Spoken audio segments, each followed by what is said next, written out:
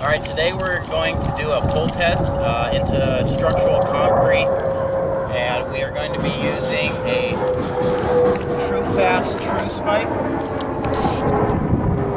And what this has is a little anchor point on here, so you have to pre-drill into your concrete. When you're pre-drilling, you have to account for all the material that you're drilling, so you need to go about an inch to an inch half deeper than the fastener.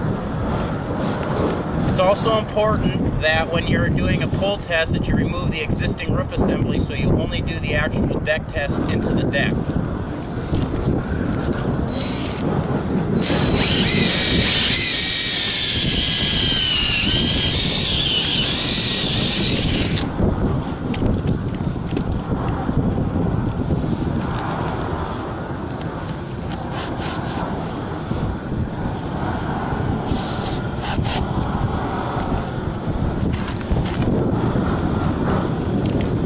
We're going to be using a quarter inch diameter drill bit.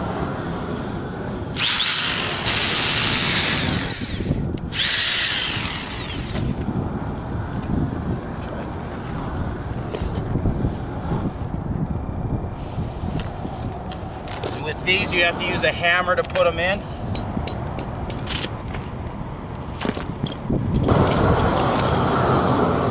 And with this all you have to do is consistent turning.